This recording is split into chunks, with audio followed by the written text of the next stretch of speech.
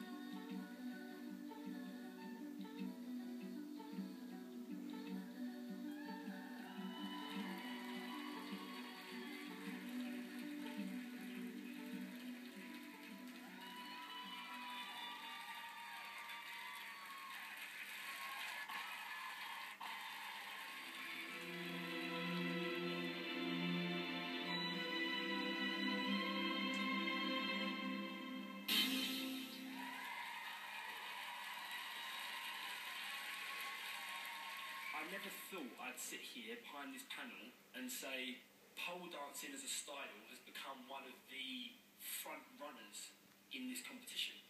That was just an absolutely amazing feat of strength and skill and talent, yet executed perfectly.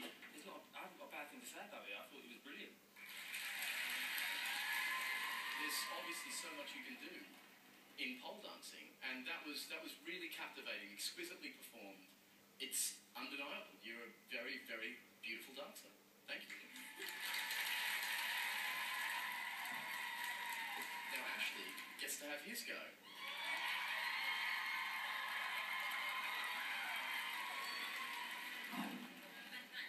you go.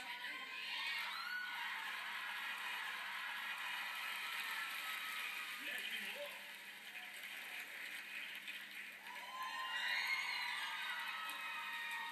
Thank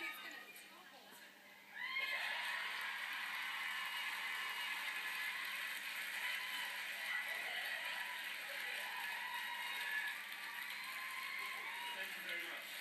That was amazing. I say me and Adam should have a pole dance battle one of these days.